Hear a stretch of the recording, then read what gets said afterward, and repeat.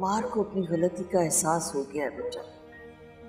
वो बहुत पछता रहा है अपने किए पर। उसने अभी तक पेपर भी साइन नहीं किए। तुमसे भी कई बार उसने बात करना चाहिए, लेकिन बेटा, वो तुम्हारे साथ ज़िंदगी गुजारना चाहता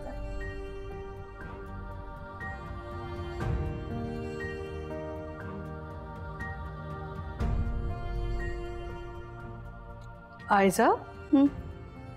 जी अम्मी। बेटा तुम यहाँ क्या कर रही हो?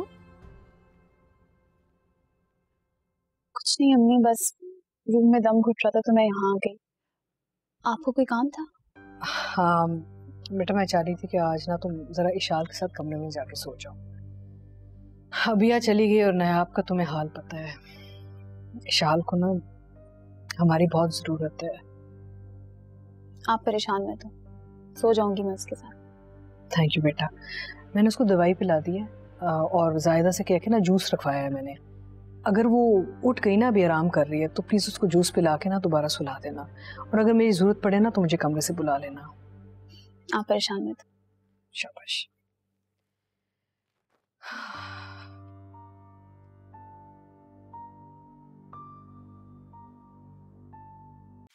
Assalamualaikum, मैं हूँ Urwa Hussain. Subscribe to the ARY Digital YouTube channel for more entertaining content.